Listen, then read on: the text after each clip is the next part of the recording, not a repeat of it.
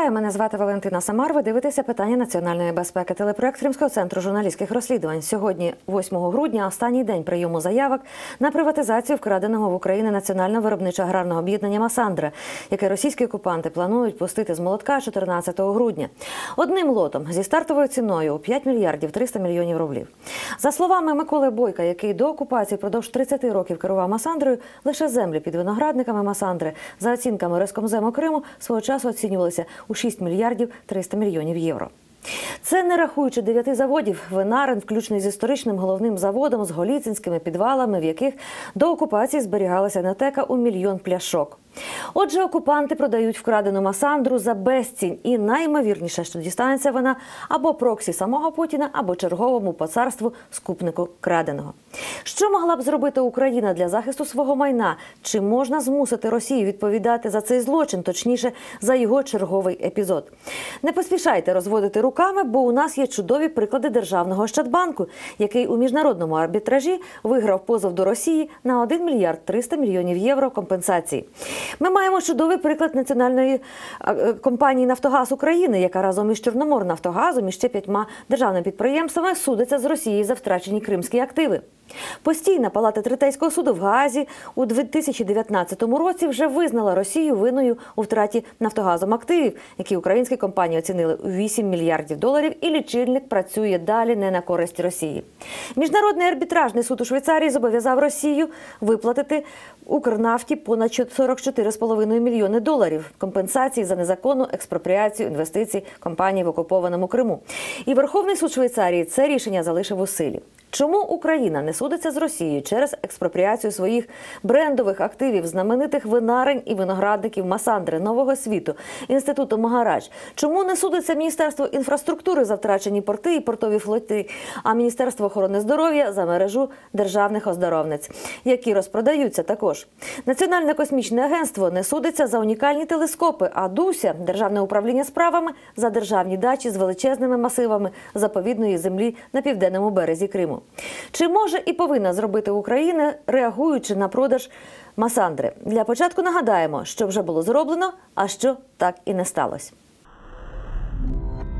За фактами вчинення злочинів щодо привласнення активів Масандри, прокуратура Криму розслідує кілька кримінальних проваджень.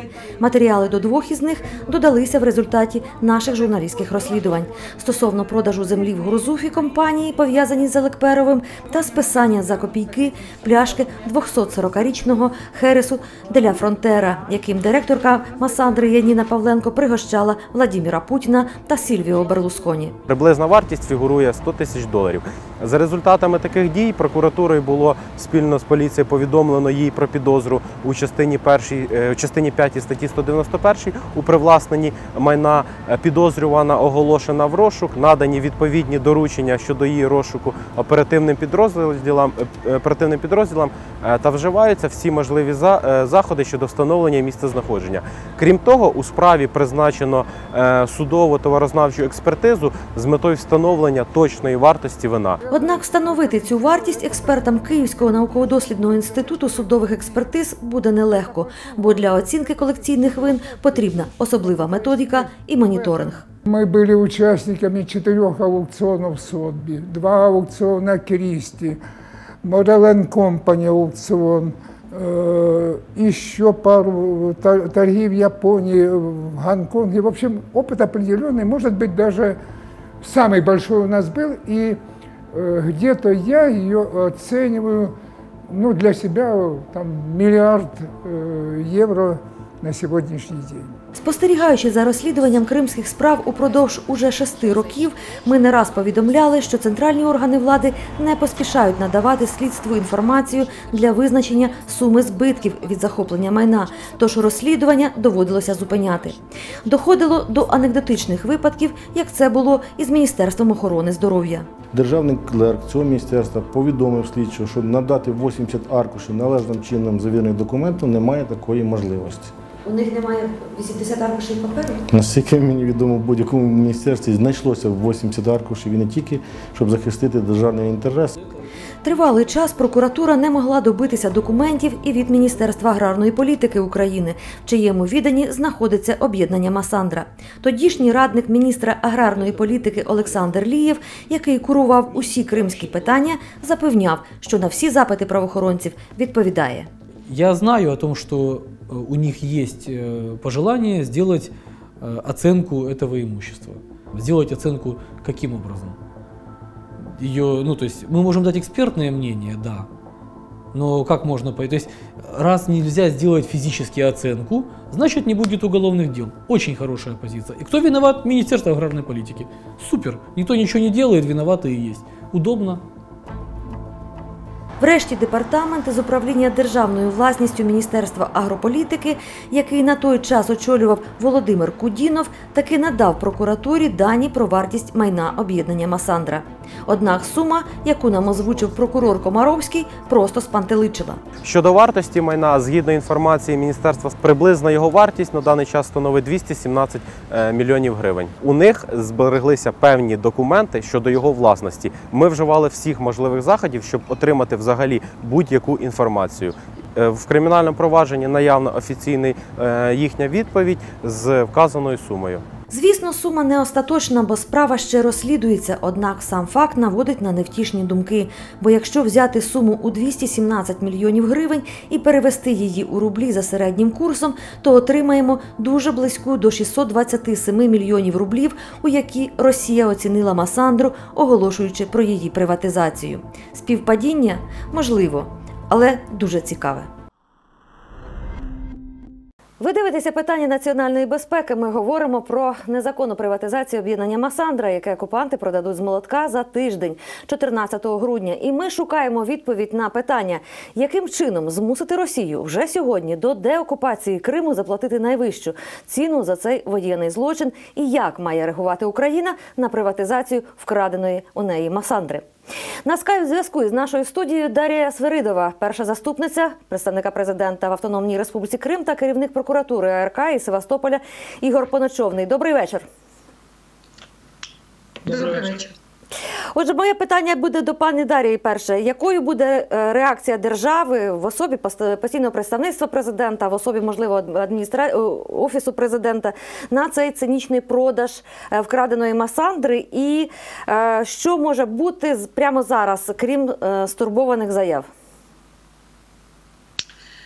Дякую за питання, пані Валентино. Ну, власне, як ви кажете, стурбовані заяви вони теж дуже важливі, і ми вже зараз комунікуємо з усіма органами влади, які власне відповідають за різні напрямки політики щодо окупованих територій. Безумовно, всі і Міністерство реінтеграції, і Міністерство закордонних справ, до яких ми звернулися, і власне представництво дуже уважно слідкує за незаконними діями влади Російської Федерації, окупаційної влади щодо підготовки цього аукціону. А щодо майна е, щодо Масандри і е, незаконного продажу фактично з аукціону цього майна, і власне е, безумовно всі будуть виражати свої позиції. Позиції щодо незаконності таких дій, але власне сьогодні ми дуже сподіваємося, що Міністерство закордонних справ, і ми зі свого боку прокомунікуємо належним чином з нашими міжнародними партнерами. І такі заяви щодо неправомірних дій країни окупанта будуть і від наших міжнародних партнерів. Але й найголовніше, е, те, що ми теж проговорюємо з нашими колегами і що готуємо, ми сьогодні уважно документуємо і фіксуємо е, тих осіб, які або вже причетні до порушень е, в сфері.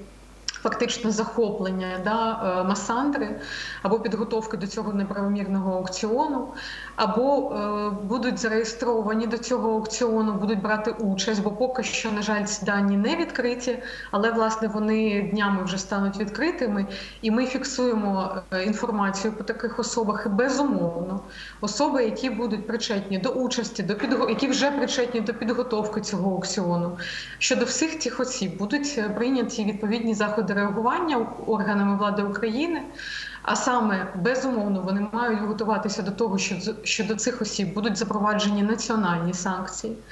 І безумовно ми будемо комунікувати з нашими міжнародними партнерами щодо запровадження е, санкцій з боку наших партнерів до всіх осіб, які мають розуміти вже сьогодні, що кожна особа, яка буде брати участь в аукціоні, особа, яка фактично виявить бажання і зможе купити, да, е, якщо це можна назвати покупкою, бо власне це злочин, да, е, який відбувається по незаконному захопленню нашого майна.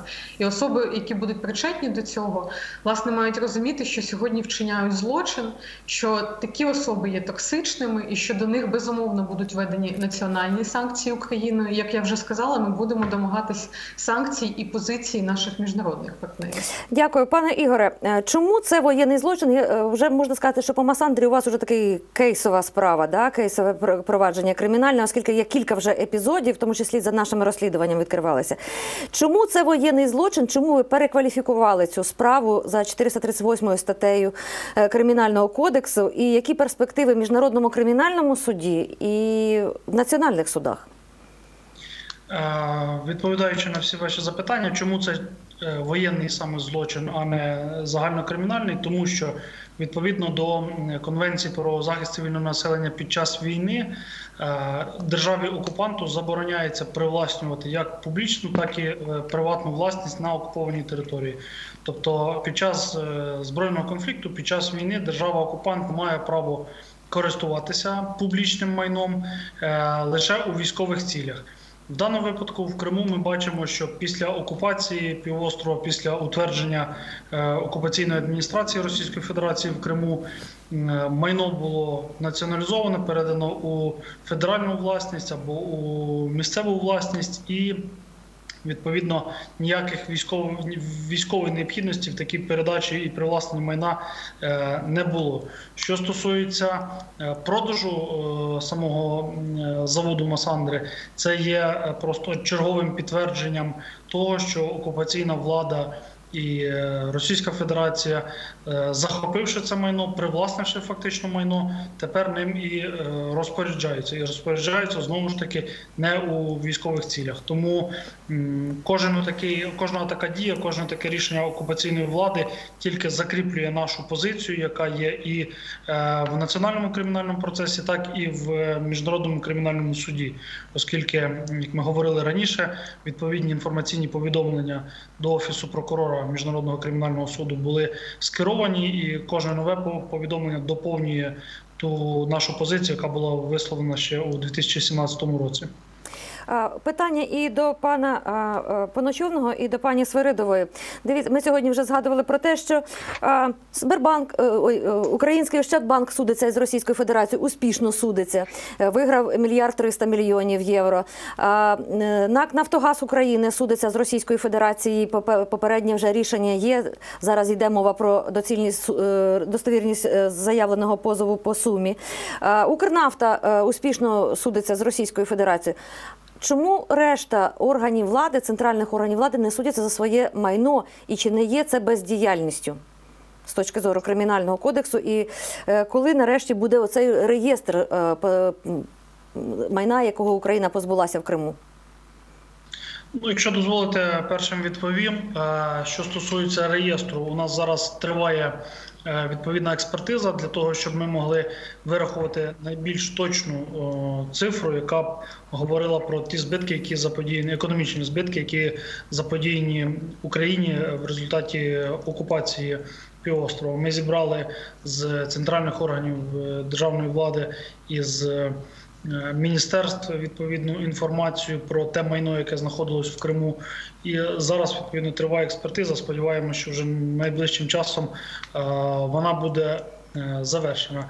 З приводу того, чому інші державні органи не звертаються до е, Російської Федерації з відповідними позовами, це питання е, варто задавати їм, але е, можу сказати, що навіть на наші запити в кримінальному провадженні багато з е, органів не надавали інформацію достовірно, оскільки в багатьох випадках вони неї просто не володіли. Вся інформація, документальне підтвердження про наявність майна, про його вартість, там балансову вартість і так далі, знаходилась на окупованій території, і е, центральні офіси в Києві такою інформацією просто не володіли. Пані Дар'я. Ну, власне, я лише доповню з приводу того, чому, е, чому не судяться. Дійсно, це питання до органів влади, але власне я думаю, що не судяться, по-перше, з причини, яку вже озвучив пан Ігор Коночовний. А інша причина це дійсно, на жаль, поки що відсутність якоїсь централізованої політики щодо узагальнення взагалі е, збитків да, і формування якоїсь правової стратегії загальної да, е, захисту власне майна, втраченого на окупованих територіях. Бо це можуть бути і різні юрисдикції, да, і різні міжнародні судові установи, до яких власне можна звертатися за фактами порушення різних прав, які мають свої процедури, е, свої строки, да, свої порядки звернення, свої вимоги до рівня до, до, доказування, доведення. Тому, власне, певна відсутність е, такої загальної правової стратегії захисту майна поки що, мені здається, це теж причина того, що. А, ну, власне, органи влади не всі, не всі ініціювали захист свого майна на міжнародних майданчиках, а власне навіть в національних майд... е, в національних провадженнях, як вже сказав пан Ігор, е, навіть е, в цій, в цій доступній процедурі майже для всіх органів влади поки що не задокументовано всі втрати майна на окупованих територіях. Але власне ми от в представництві зараз теж якраз останні декілька місяців займалися тим, що збирали інформацію по органах влади, яка, с- яке саме майно втрачено, які саме активи втрачені, які дії були вже вчинені на захист цього майна і на документування і моніторинг того, що зараз власне з цим майном відбувається на окупованих територіях. Да, бо, бо дуже часто втрачено контроль над майном, але це майно все ще перебуває да, в цілісності е, і під контролем окупаційної влади. А є випадки, коли це майно навіть було знищено окупаційною владою. Е, і тут питання в тому, що ми зокрема не лише збираємо цю інформацію, а от власне зараз з експертами готуємо і певні рекомендації. Які направимо і органам влади, е, що б можна було зробити сьогодні на захист цього майна. Але певні дії зроблені. Я просто нагадала. Я розумію, що це насправді викликає багато питань щодо ефективності. Але, наприклад, е, якщо не помиляю, ще в 2014 році урядом було дано доручення фонду держмайна Міністерству юстиції розробити методику розрахунку збитків. І це це майна на окупу через окупацію Криму. І навіть такий розрахунок був зроблений. Там щось більше одного трильйона е, гривень нараховано було за цими за цими методиками збитку. Але власне, звичайно, постає питання, е, що сьогодні узагальнено робиться для власне захисту цього майна і стягування цих збитків з країни окупанта. Е, Ну тут питання в виробленні загальної цієї політики і правової стратегії захисту дійсно на, на державному рівні. Це, це питання. Так, це питання і питання, яке потрібно задавати урядовцям, перш за все, оскільки чинна ще й досі постанова Кабінету міністрів від 2018 року, яка чітко зобов'язала, створила міжвідомчу групу, яка мала розробити, запустити, створити державний реєстр втраченого майна. Коротко називаю я цей реєстр, там довга назва. І е, він має виконуватися ця постанова. Останнє питання. е, важке. Пишуть, що покупцем е, вкраденої масандри може бути структура Збірбанка Росії, а дочка Збіра, як ми знаємо, спокійно продовжує працювати в Україні. Походу, вона там позбувається якогось свого майна, якихось корпоративних прав на інші, там лізингові компанії та інші. Ну при цьому е, ми вже два роки пишемо про те, що так само дочка е, Збірбанка, яка там якою він володіє через е, певні структури, через таку матрьошку невелику, е, ця е, реалізує проект під назвою Винний проект на саме на землях Масандри, які вже були після 2014 року е, відкушені, скажімо так, у Масандри. І продовжується цей проект. І чи бачите ви? Можливості для блокування чи навіть арешту е, активів Збірбанка в Україні, можливо, як санкційну дію, чи можливо як е, накладення арешту в рамках кримінальної справи. Отже, чи бачите ви такі можливості і підстави для того, щоб арештувати ці активи Сбербанка або блокувати їх, якщо покупцем е, Масандри виявиться якась пов'язана з ним структура? Якщо говорити про е, кримінальний процес, то однозначно здійснювати арешт активів покупцям ми не можемо, тому що будь-які обмеження щодо майна можуть встановлюватися тільки до майна підозрюваного або обвинуваченого. Тут е, знову ж таки потрібно повернутися до наболівшого питання санкційної політики і його недосконалості в українському законодавстві. Е, І ці питання якраз би можна було вирішувати в рамках е, різних обмежувальних заходів, відповідно як і до самого Сбербанка, так і до афілійованих чи пов'язаних осіб, до їхнього майна і так далі. Тобто, це повинна бути ну, такий комплексний державний механізм, який би реагував би на, на всі. е, На, всі намагання окупаційної влади там і Російської Федерації вчинити будь-які протиправні е, дії в Криму. Якщо такі дії є злочином, відповідно реагує правоохоронна система. Якщо ці дії не є злочином, тут повинен включатися е, державний санкційний механізм. Дякую, пані Дар'я. Так, безумовно, в першу чергу реакція тут має бути на рівні е, ведення обмежувальних заходів, а саме санкцій, Е, і навіть з, тим механізмом, який і з тим законодавством, яке є зараз, мені здається, очевидно, реакцію держави Україна на наступний день після е, того, як ми дізнаємось, хто став покупцем, а фактично злочинцем, да, по захопленню нашого майна. Ну, власне, мають, готуватися подання на застосування санкцій та інших обмежувальних заходів щодо осо- щодо такої особи. Я е, не думаю, що власне безпосередньо Сбербанк да, буде причетний. Ну мало ймовірно, але безумовно, якщо це навіть будуть якісь афільовані е, юридичні особи, які мають прямий зв'язок да, з, зі Сбербанком, ну безумовно, держава має реагувати і вживати санкційних заходів щодо всіх осіб юридичних, як Російської Федерації, так і створених афілійованих для того, щоб взяти участь в цьому конкурсі. Щодо всіх цих осіб мають бути запроваджені санкції. Дякую дуже. Дар'я Свиридова, перша заступниця представника президента України в Автономній Республіці Крим та Ігор Поночовник, керівник прокуратури АРК та міста Севастополя, сьогодні доповнили нашу розмову про Масандру. Продовжимо випуск. Ви дивитеся питання національної безпеки, програму аналітики і розслідувань Кримського центру журналістських розслідувань. В нашу редакцію звернулися родичі політичних бранців Кремля, яким відмовили у наданні допомоги, яка передбачена бюджетною програмою, про яку в останні місяці ми розповідали чимало, і яку виконує Міністерство реінтеграції тимчасово окупованих територій. Ситуація несправедлива. Гроші є, але не використовуються в повній. Водночас не всі родини політичних бранців, які сидять у підвалах ордло чи російських тюрмах, отримують фінансову допомогу від держави. Її розподіляє міжвідомча комісія, до якої входять урядовці і правозахисники. А оскільки закон про статус політичних бранців Кремля і досі не прийнятий, то керуються члени комісії своїми власними критеріями і суб'єктивним поглядом. У ситуації розбирався Микита Панасенко. Йому й передаю слово. Побачимося за тиждень. А всі достовірні новини читайте на сайтах Центру журналістських розслідувань, Бюро судової інформації та медіа-центрів IPC в Херсоні та Генічіску. А також дивіться на наших каналах YouTube. Побачимось. –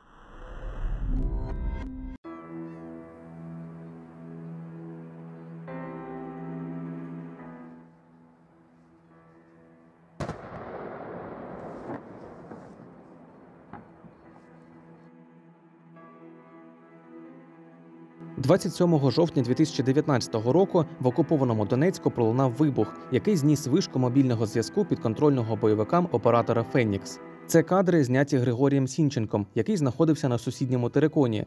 Цією акцією він хотів привернути увагу до тортур і нелюдських страждань, яких зазнають українці на підвалах у російських найманців. Григорій потрапив до катівні вже вдруге. Історію Григорія розповідає його мама Тетяна Гулевська, яка ще з двома дітьми тепер живе у селі в Харківській області. Вперше Сінченко потрапив за грати у 2016 році. Тоді бойовики звинувачили його в участі в партизанській групі. Він був е, декілька тижнів у підвалі у БОП. Ми нічого не знали. Нам казали, його ніде немає. Ми його шукали крізь по лікарнях, крізь. І нам казали, що ніде немає. А потім, коли він вже помирав від розриву легенів, мені колега зателефонувала, бо вони знали, що я шукаю свого сина. От, і мені сказали, що такі, такий в нього стан. Як він потім повернувся в 17-му році, він розказував, що його дуже жорстоко тортували. Його били током, імітували розстріл. Його е, підвішували за наручники на декілька годин, так, що руки були всі чорні. Е, А потім кинули, коли вже він так е, дуже його били багато годин, а потім кинули його на підвал з наручниками. І декілька суток не підходили ні води, ні в туалет не виводив взагалі. От, він там вмирав вже. 27 грудня 2017 року в рамках масштабного обміну утримуваними особами 73 людини були звільнені з ДНРівських підвалів і вивезені на вільну територію України. Серед них був і Григорій Сінченко, але він уже виношував план повернутися і помститися. Коли був там у полоні, він обіцяв своїм товаришам, що він це так не залишить, що він повернеться і що він помститься за ці тортури, що це не можна вибачати. Тетяна Голевська розповідає, що після звільнення її син отримав 100 тисяч гривень допомоги від держави. Відмовився від реабілітації, почав готуватися, купувати необхідні речі, палатку, навігатор тощо. У жовтні 2019 року йому вдалося підірвати вишку мобільного оператора у Донецьку та викласти відео вибуху в мережу. Григорія затримали. Він тікав, але його знову знайшли. Зараз Тетяна Гулевська не має з сином зв'язку та не знає, в якому він стані. Остання інформація, яку отримувала від адвоката ще в жовтні, Григорій захворів на туберкульоз. І що на знак протесту проти катувань порізав собі вени в камері. Кров'ю написав ім'я свого ката Стас Кошовий. Адвокат, що мешкає на окупованій території, через тиск відмовився захищати Григорія. Тепер треба шукати нового, але коштів на оплату його роботи немає. У 2019 році Тетяна Гулевська отримала допомогу у 100 тисяч гривень. Однак цього року комісія при міністерстві реінтеграції у допомозі родині Сінченка відмовила. Але комісія цього року мені відмовила е, письмово без пояснення причин. А на словах по телефону мені сказали, що ви ж вже отримали, а інші не отримали, тому ви і не маєте більше. Ми не можемо вам дати. Згідно з постановою Кабміну номер 328 від 18 квітня 2018 року, родини політв'язнів мають право отримувати допомогу по 100 тисяч гривень кожного року, поки член їхньої сім'ї знаходиться в неволі. Здебільшого кошти йдуть на оплату адвокатів, передачі в ув'язнення продуктів та ліків. Головний критерій отримання допомоги довести, що в'язень саме політичний або військовополонений. Питання про виділення коштів політв'язням та їх родинам розглядає спеціальна міжвідомча комісія, до якої входять 18 представників міністерств та правоохоронних структур та 6 правозахисників. Міжвідомча комісія засідає в закритому режимі. Ігор Яременко, заступник міністра реінтеграції, голова комісії, каже, що результати голосувань не є публічною інформацією для захисту персональних даних. Кожен член комісії, який приймає участь, несе певним чином внутрішню відповідальність за те рішення, яке він ухвалює при розгляді е, конкретної справи. Е, Так, це є суб'єктивне рішення. Але саме е, те, що у нас є 24 члени комісії, є певним запобіжником від того, щоб ця комісія не була заангажована. У тій справі, про яку ви мене питаєте, воно не набрало необхідної кількості голосів. До лютого 2020 року в комісії було 8 членів. Однак її склад було розширено до 24. Зокрема, в комісію увійшли представники громадських правозахисних організацій. Це була наша свідома позиція залучити правозахисників, які, як, е, які по-перше, мають е, чимало інформації про тих, кого ми розглядаємо. Е, І для нас це дуже важливо почути цю інформацію. Е, По-друге, це є певним суспільним е, контролем за роботою цієї комісії. Е, І по-третє, ці представники можуть зсередини через надання тієї чи іншої інформації впливати на е, роботу комісії. Усі члени комісії підписали документ про нерозголошення деталей прийнятих рішень щодо конкретних осіб. Але в загальних рисах говорити можна, тим паче висловлювати власну думку. Керівник об'єднання родичів політв'язнів Кремля Ігор Котелянець, член комісії. Він вважає, що деякі відмови у наданні допомоги були невмотивовані. Були відмови в цьому році, от восени були відмови як по заручникам Донбаса, так і по е, політичним в'язням. Е, Як на мене, щонайменше половина цих відмов вони ніяк не мотивовані, але це моя власна точка зору. Е, Іноді на це може впливати, ну, можливо, подання неповної інформації про цей кейс. Ігор Котелянець, не називаючи імен, наводить приклад, коли на прийняття рішення могла вплинути недостовірна інформація, озвучена урядовцями. Кейс по політичному в'язню він е, е, значить, визнаний політичним е, всіма основними правозахисними організаціями. Е, прозвучала, ну, почалося обговорення, і на комісії прозвучала інформація від одного з міністерств, щоб, начебто, це міністерство вже допомагає цій родині. Я знав, що це не, неправда, що це не так. Потім прозвучала інформація, що у цієї родини на окупованій території залишилося якесь майно, там машина, да, саме машина. І ну не знаю, деякі мені здалося, що деякі члени комісії якось на це відреагували, і ця інформація якось вплинула таким чином, що, типу, ну, раз у тебе щось є, якісь гроші є, якесь майно є, то значить ти не можеш е, е, претендувати на допомогу, да, або ця допомога може тобі не так вже й потрібна. У міністерстві реінтеграції тимчасово окупованих територій підтверджують, така ситуація дійсно була, і тепер шукають вихід із цієї несправедливості. Я знаю цей кейс конкретний, про який ви говорите. Ми шукаємо, яким чином вийти з цього положення. Е, І, в принципі, ми запропонували варіант. Я просто не хочу його зараз розкривати, це буде некоректно з мого боку. Яким чином вийти з цього? Ігор Яременко зауважує, що комісія може повторно розглянути кейс, якщо від заявника надійдуть додаткові документи. Щоправда, жодного випадку повторних розглядів ще не було. Людині ніхто не пояснює в постанові вказані конкретні причини відмови. Він починає збирати великі стоси там якоїсь інформації, яка не передбачена постановою, і знову подавати на комісію. Ну напевно, раз відмовили, напевно, їм щось було незрозуміло. Так, от міністерство відмовляє у прийнятті. Типу, один раз відмовили, вже розглянули, все більше ми вас е, розглядати не будемо. Ігор Гриб батько політв'язня Павла Гриба, юнака, якого на території Білорусі викрали працівники ФСБ Росії. У минулому складі міністерства був секретарем комісії. Тоді він очолював спеціальний відділ міністерства, що займався моніторингом та аналізом кейсів, ув'язнених окупантами та бойовиками громадян України. Кожен кейс кожної людини, кожна справа, вона є унікальна фактично. І кожна справа вона е, вимагає дос- дослідження для того, тому що за кожною справою це життя людини. Щоб не було такого, що допомогу у нас отримують ті е, негідники, які якимось чином попали в обміни, і вони повернулися в Україну, вони отримують допомогу, хоча співпрацювали, були проти України, співпрацювали е, з окупаційною владою. Робота цього відділу, який має працювати в Міністерстві реінтеграції, який, на жаль, не працює, воно і має надавати ту інформацію для роботи цієї комісії, повну інформацію.